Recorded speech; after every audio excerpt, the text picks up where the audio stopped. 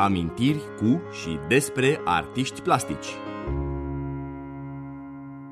Bogdan Breza, Matei Șerban și Ion Medruț au expus împreună la Galeria de Artă Simeza pictură, sculptură, instalație. Tehnici diverse, materiale clasice sau surprinzătoare pentru zona sculpturii mai cu seamă, s-au găsit în exprimări reconfortante, pline de vitalitate. Luiza Barcan, critic de artă, a deschis expoziția urmărind caracteristicile celor trei viziuni care au stat la oaltă într-un mod plăcut la Simeza. Este, pe de o parte, o întâlnire între prieteni, pe de altă parte, o întâlnire între colegi de generație, pentru că ei sunt apropiați ca vârstă toți trei, și Victorul Matei Șerban și cei doi, doi sculptori, Bogdan Breza și Ioan Medruț.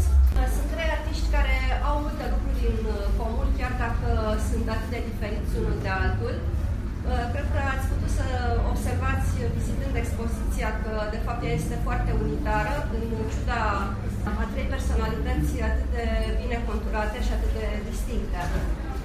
Aș vrea să spun așa ca o trăsătură generală și cred că îmbunătățim la sentimentul meu. Suntem într-o expoziție în care granițele dintre limbajele artistice au fost practic desfințate. Este o expoziție, așa spunem, clasic de pictură și sculptură, dar de fapt prin abordarea parietalului de către sculptor și prin folosirea culorii ei se apropie de, și de arta picturii.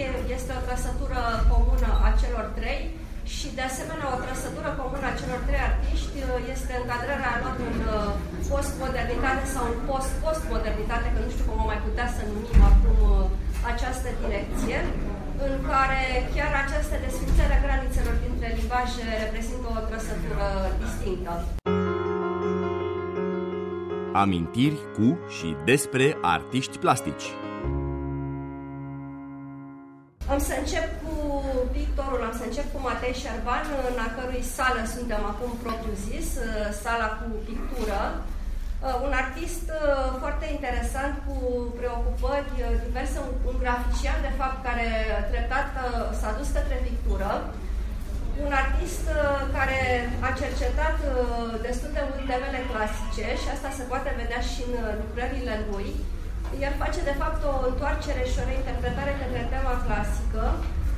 Ar fi greu de încadrat într-un curent, dar există niște direcții în care, în care l-am putea așeza pe Matei Șerban și, în primul rând, mă gândeam la acel figurativism anacronic care a apărut la Roma în anii 80 și care își propunea să reinterpreteze teme preluate din pictura renascentistă, barocă, manieristă, clasicistă și așa mai departe. Cu o diferență însă, Matei Șerban nu are acea abordare parodică pe care o aveau artiștii de la Roma în anii 80, din potrivă el se duce spre o notă mai curând gravă asupra condiției umane, asupra condiției femeii, pe care o surprinde în feluite ipostaze și unele dintre cele prezente aici, așa cum mi-am mărturisit, sursa de inspirație principală au reprezentat-o femeile din haremuri.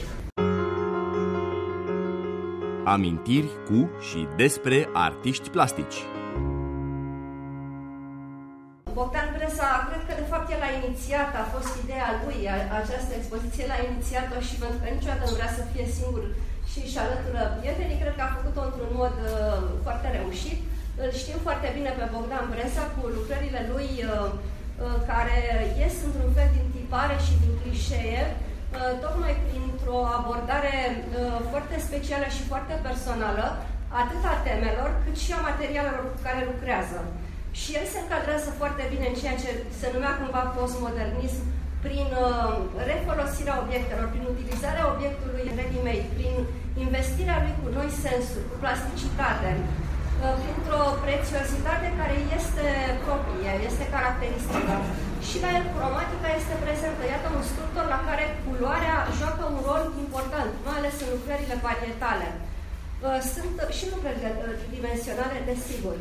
Lucrarea lui este foarte ispititoare la nivel vizual, tocmai prin prețiozitate și prin felul în care reușește să mixeze materialele, dar și prin tematică. El face, face un lucru extrem de interesant și pe care puțin dintre artiștii contemporani îl mai fac, reinterpretează, reinvestește cu sens simbolurile vechi, simboluri din alchimie, de pildă. Se gândește la zona astrală, pune în dialog categorii fundamentale de spațiu, de timp, lumină, întuneric, le pune în dialog.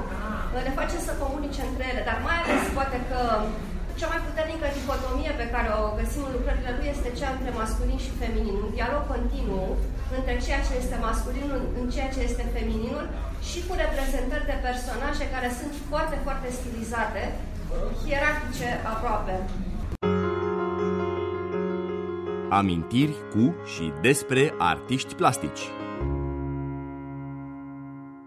Și ultimul, dar niciun caz cel de pe urmă, Ioan Medruț, de asemenea un sculptor foarte, foarte special, cu o abordare, aș zice eu, că unică în uh, peisajul artistic contemporan, la polul opus, într-un fel, lui Bogdan Breza, pentru că dacă avem, pe de-o parte, o sală care ne uh, atrage privirea prin uh, strălucirea și prețiozitatea obiectelor, sala lui Ioan Medruț este mai degrabă austeră, este mai degrabă minimalistă dar uh, nu mai puțin spiritoare a spune pentru cel care are răgazul să se uite cu atenție la obiectele pe care el le expune, recurgând și el și la varietat și la tridimensionat, dar avem și aici în sală două lucrări de ale sale, care, uh, pe de-o parte, ne arată că el lucrează și cu materialul uh, destinat sculpturii, cu materialul care este tipic, clasic pentru sculptură aici, dar pe de altă parte, în sala cealaltă, vedem că în același timp, uh, el reușește să reinvestească cu sens și materialele pe care noi le numim paupere de obicei. Se folosește de hârtie, de carton, de mixaje, de obiecte, nu știu, poate și papie mașe, nu știu dacă ai folosit vreodată, dar mi se pare că nu ți-ar fi impropriu. De asemenea, se duce și el către, uneori către o temă clasică, pe care evident că o reinterpretează într-un uh, spirit uh, și grav și ludic în egală măsură, un artist, aș zice eu, care conceptualizează foarte mult. Și prin asta el este atât de personal și atât de uh, special în peisajul uh, contemporan. Ați urmărit amintiri cu și despre artiști plastici, emisiune realizată de Roxana Păsculescu.